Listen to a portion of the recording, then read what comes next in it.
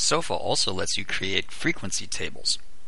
Let's say you want to find out how the color choices are distributed by gender. To do this, select Report Tables.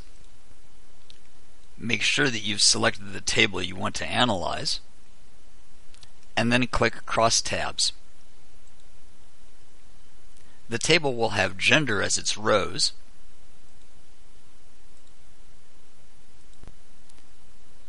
and we also want the row totals. So click Config in the rows area and select Total. Now specify color as the variable for the table column.